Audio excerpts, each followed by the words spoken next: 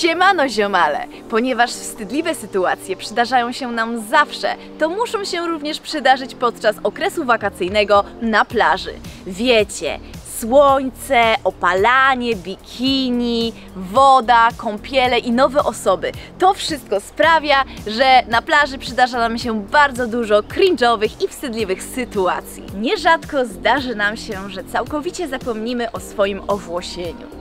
I wiecie, my go nie widzimy, ale kiedy wyjdziemy na plażę i w dodatku rozbierzemy się do stroju kąpielowego, to na pewno zostaniemy zauważeni i mało tego, ktoś nam zwróci uwagę, a my poczujemy się bardzo, bardzo zażenowani. Martyna, Jezu, jak było super, byłam w wodzie i jacyś chłopcy tam byli i cały czas się na mnie patrzyli i się uśmiechali i myślę, że im się chyba spodobałam, więc musisz teraz tam pójść ze mną i poznamy ich. O, super! Kasia, bo ja chyba wiem, dlaczego oni się śmiali. Patrz tutaj.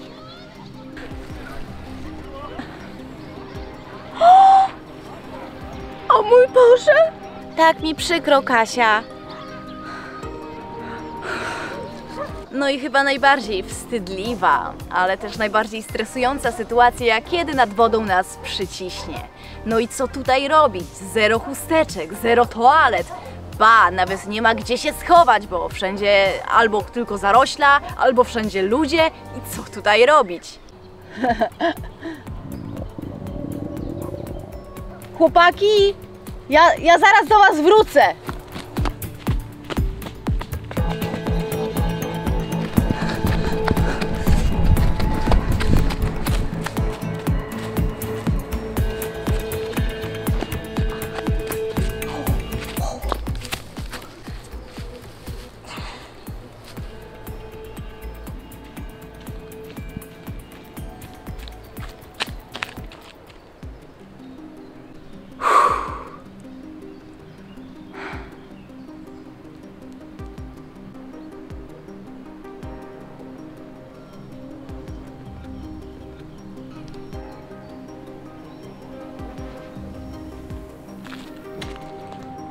Zawsze po wyjściu z wody chce nam się bardzo jeść. No a mogło być też tak, że po prostu nie mieliśmy przy sobie zbyt dużo pieniędzy, a ktoś przy nas jadł coś smacznego i to tak pachniało. Albo znajomi chcieli pójść coś zjeść i proponowali nam, a my nie mogliśmy, bo po prostu nie mieliśmy przy sobie pieniędzy. Ej, słuchajcie, jestem głodna, może pójdziemy kupić coś do jedzenia? A ty, Wiola, chcesz coś jeść? Nie, ja nie chcę jeść, Czemu? Bo ja e, nie jestem głodna. A, okej. No dobra.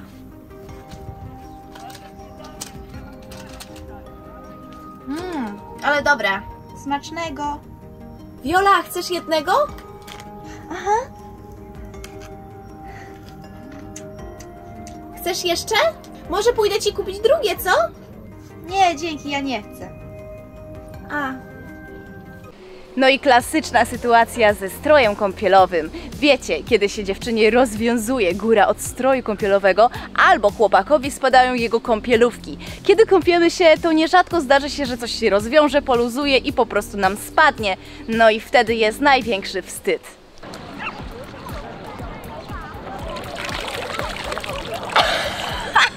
Chłopaki, patrzcie! Czyli to stanik!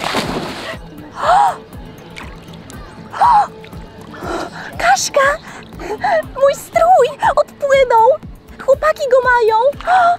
Ej, jakaś laska zgubiła stanik! Marek łap! Może nie wiem co zrobić, daj mi ręcznik! O Jezus Maria, jaki wstyd! Nie przyznaję się. Teraz zróbmy sobie takie kółeczko zaufania i każdy z Was, ziomale, niech napisze w komentarzu swój jeden kompleks. Chyba, że żadnych nie macie, no to wtedy napiszcie, ale załóżmy, że każdy ma kompleksy. No i właśnie te kompleksy na plaży najczęściej wychodzą i często ciężko jest je ukryć, a jeszcze gorzej jak jesteśmy ze znajomymi albo co gorsza ze swoim crushem. Wiola, chodź też do wody! Wstawaj, nie będziesz tu siedzieć. Nie, ja nie chcę iść. No czemu? No chodź. Nie, no może później, wiesz? Oj, marudzisz. No dawaj, chodź, fajnie jest.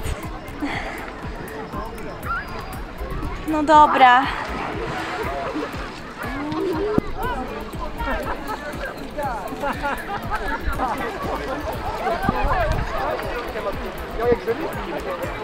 Ej, chłopaki, musimy iść.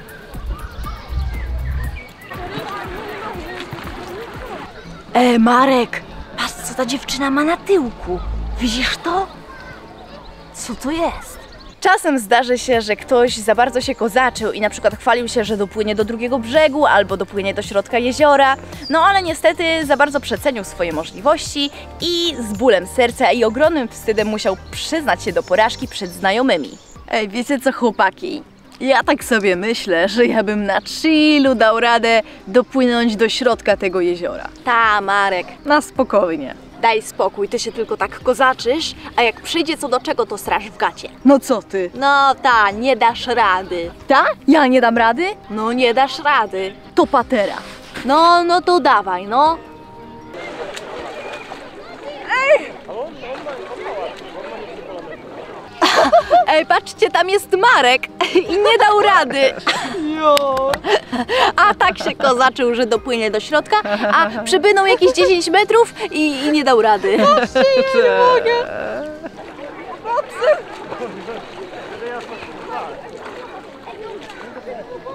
Każda dziewczyna miała przynajmniej raz w życiu taką sytuację, że chciała pójść nad wodę popływać, a nie mogła, ponieważ miała te dni. No i teraz nie wiadomo, czy jednak wybrać się ze znajomymi nad jezioro, ale po prostu siedzieć na kocu i pilnować im rzeczy podczas kiedy oni się będą dobrze bawić, czy w ogóle nie iść i odmówić sobie przyjemności. Życie dziewczyn jest ciężkie. Ach. Klaudia, co ty tu tak siedzisz sama? Chodźcie z nami pokąpać, wszyscy już weszli do wody. Paweł, ja nie mogę iść się z wami kąpać. Dlaczego nie? Nie, Nie rozumiem. bo ja... em, em, ja, ja nie lubię wody, ja się boję wody. Ja będę sobie tutaj siedzieć i popilnuję wam rzeczy. Aha, no spoko, no ale to chociaż się rozbierz do stroju, bo się ugotujesz tutaj. Patrz, jak jest gorąco. Nie, ja się nie chcę rozbierać do stroju. Ja sobie tak posiedzę, mi jest zimno. Dobra, no spoko, to ja idę popływać. No pa. Czy potraficie pływać? Często zdarzają się osoby, które nie potrafią, bądź nawet boją się wody lub boją się wejść do wody, w której nie sięgają dna. No i takie osoby często mają duży cringe, kiedy muszą wyjaśnić, że boją się popłynąć albo nie popłyną ze znajomymi gdzieś, bo nie potrafią pływać. No chodź, Borys! Fajnie jest! A bo ja nie chcę iść do wody, ja nie lubię. No dawaj! Nie, ja nie chcę. Mi jest zimno. Jezu, ale ty się boisz tej wody. Wcale nie jest zimna. Mm, Może później. A, gadasz. No dobra, ale tylko zamoczę nogi, okej? Tylko do kolan wejdę. Ja już dalej nie idę. Nie, nie ma opcji. No chodź głębiej. Co, boisz się? To nie chodzi o to, po prostu woda jest bardzo zimna, a ja jestem chory. A może ty po prostu nie umiesz pływać? Ej, słuchajcie, Borys nie umie pływać i boi się wejść do wody. Patrzcie, jak się boi. Cały sykorzył. nie, nieprawda. Ja stąd idę. Dajcie znać ziomale, które z tych sytuacji przydarzyły się Wam samym oraz kiedy następny raz jedziecie na plażę. Koniecznie zostawcie łapkę w górę oraz subskrypcję, jeżeli nie subskrybujecie i widzimy się w kolejnym odcinku.